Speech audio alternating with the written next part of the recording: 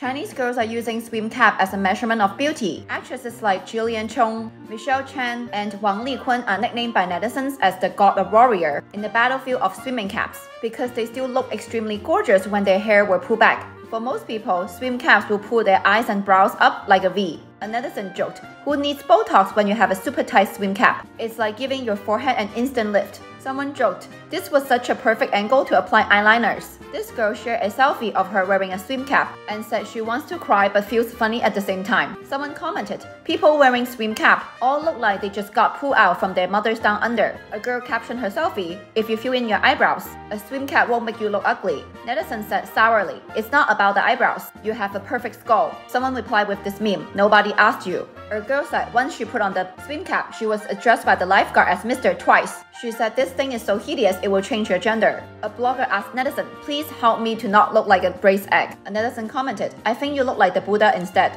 You can actually purchase the Buddha swim cap on Chinese shopping platforms. A blogger bought one and said it looked like a bunch of snails up close. Another said, if you wear this to the ocean, even the fish in the sea will bow down to you. Someone said, whoever plunged into the water and saw this thing will probably think they drowned themselves and went to the Pure Land.